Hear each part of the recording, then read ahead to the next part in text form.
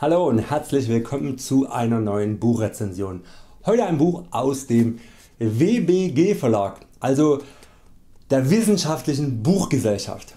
Der Autor Heiko Luhmann und sein Buch Alles Einbildung, was nun in der 2015 erschienenen zweiten Auflage vorliegt, möchte dem Leser aber nicht nur vermitteln wie unser Gehirn Reize aufnimmt und verarbeitet, sondern er beschäftigt sich auch tiefergehend mit der Frage was die Wirklichkeit ist, die Realität und ob diese für den Menschen überhaupt abbildbar sei. Diese Frage ist ja schon in der äh, Philosophie seit Jahrhunderten diskutiert, in der Wissenschaft aber ernsthaft eigentlich erst seit Einsteins Relativitätstheorie, zumindest meiner Einschätzung nach. Ich greife schon mal vor indem ich sage dass Herr Luhmann diese Frage verneint und damit konform mit den aktuellen Forschungen geht. Es gibt keine Wahrheit zumindest keine die wir mit unserem Gehirn wiedergeben können, da jedes Gehirn aus einer begrenzten und aus einer konditionierten Sicht trotz eines gleichen Modus operandi, also einer grundsätzlichen Art der Reizverarbeitung, äh, ja, anders strukturiert wird. Die schier unendlichen Reize die wir durch alle Sinneskanäle in verschiedensten Lebenssituationen individuell aufnehmen führt zu so einem hohen Grad an eben einer Individualisierung dass man mit ziemlicher Sicherheit sagen kann dass es keine zwei Menschen auf dieser Welt gibt die die Umwelt komplett gleich wahrnehmen und verarbeiten.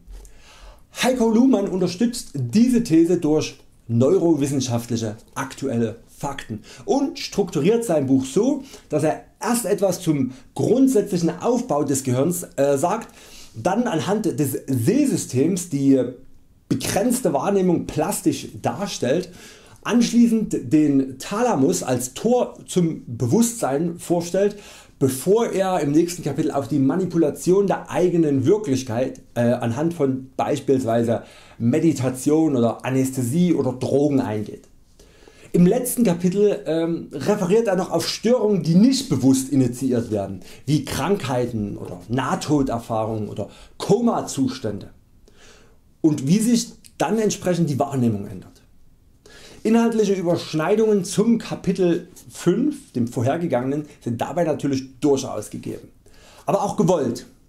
Generell kann man, und da kommen wir zur subjektiven Bewertung des Buches, einen richtig deutlichen roten Faden erkennen, der auch dem wirklich neutralen Leser ohne Vorwissen äh, ja, mit quasi an die Hand nimmt und kaum Fragen offen lässt. Heiko Luhmann verwendet zwar Fachtermini, aber diese sind alle direkt erklärt oder finden sich im Anhang genauer beschrieben. Jedoch verleitet der sehr populistische Titel Alles Einbildung den Anschein dass dieses ein Buch aus der Ecke der Selbsthilfebücher mit einem entsprechend niedrigen wissenschaftlichen Anspruch ist. Das ist es definitiv nicht, sondern der Anspruch ist klar akademischer Natur.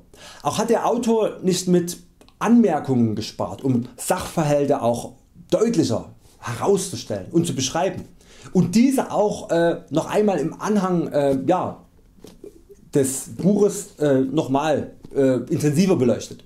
Das Buch und dessen Informationen sind wie es sich für ein wissenschaftliches Buch gehört sauber recherchiert und die Literaturliste ist angemessen lang und aktuell.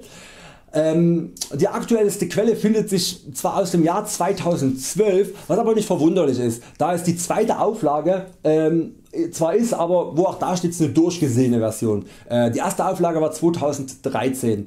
Aber da ich auch auf dem aktuellen Stand der Literatur zumindest von 2015 bin, kann ich attestieren, dass das hier beschriebene Wissen auch dem aktuellen Wissensstand sehr gut abbildet.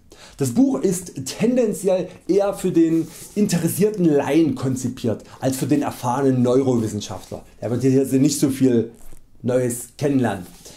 Äh, ja, das findet von der Seite meine Anerkennung, da die Thematik der Relativität zu einer entspannteren Atmosphäre in der Weltpolitik führen und wenn in den Köpfen der Menschen bewusster wahrgenommen generell auf der Welt die Grundstimmung positiv beeinflussen könnte.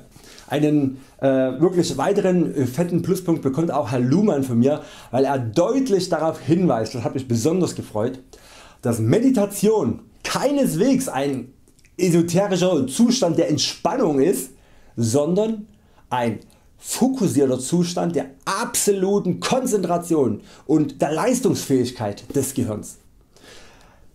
Generell scheint Herr Luhmann nicht nur in seinem Fachgebiet, äh, Fachgebiet auf dem neuesten Stand oder auf dem aktuellsten Stand der Wissenschaft zu sein, sondern man hat das Gefühl wenn man das Buch so durchliest, dass er ein vielseitig interessierter und sehr sehr offener Mensch ist, was sich auch in der Art des Schreibens widerspiegelt. Die Zeilen lesen sich angenehm, demütig und bestimmt zugleich. Man hat eigentlich zu jedem Zeitpunkt das Gefühl dass hier jemand weiß dass er nichts weiß, aber entsprechend das aktuelle Nichtwissen sehr strukturiert und nachvollziehbar wiedergibt. Leider gibt es einen sehr großen Punkt der mir negativ aufstößt. Sowohl subjektiv als auch im Stile des Buches sprechend wahrgenommen objektiv. Und zwar verfügt das Buch über sehr wenige Abbildungen, zumindest für diese Thematik die eben das Geschriebene ja, noch viel deutlicher herausstellen könnten. Ich habe an vielen Stellen das Buch erst einmal zur Seite legen müssen und mir die Zusammenhänge visuell verdeutlichen müssen, wo es die kleine Grafik auch getan hätte. Da wäre so eine, so eine kleine Abbildung einfach hilfreich gewesen. Und das ist mir sehr sehr häufig passiert, gerade auch vor dem Hintergrund und das meine ich mit wahrgenommen objektiv, dass der Autor im Buch selber davon spricht wie äh, unheimlich unterschiedlich die verschiedenen Gehirne arbeitender Menschen. Und entsprechend müsste ja Herr Luhmann bewusst sein, dass es sehr visuelle Menschen gibt, die, einen, ja, die einfach ein paar Grafiken als sehr hilfreich empfunden hätten. Gerade auch bei komplexeren Zusammenhängen hätte ich mir einfach wirklich noch häufiger gewünscht, es sind Grafiken drin, ne, aber ich hätte mir einfach noch häufiger gewünscht eine zusammenfassende Visualisierung, eventuell in Form einer kleinen Mindmap, äh, was ich ja bei der Thematik äh, ja, gleich doppelt angeboten hätte. Naja, der Preis mit aktuell 25 Euro ist absolut angemessen. Ähm, ja. Ich habe lange überlegt ob ich hier aufgrund der fehlenden Bildchen auf 4 Sterne runtergehe. Aber das schien, man, das schien mir dann doch zu individuell auf meine Bedürfnisse bezogen und so bleibe ich bei knappen 5 Sternen und äh, spreche eine absolute Kaufempfehlung für alle diejenigen aus die ein wissenschaftlich einwandfreies durchaus sprachlich etwas anspruchsvolles, aber sehr gut zu lesendes Buch über die eigene Wahrnehmung und den zugrunde liegenden Prozessen erwerben möchten. Ich wünsche Euch wie immer viel Spaß beim Lesen oder beim Nichtlesen. Macht's gut, Euer Christian. Tschüssi.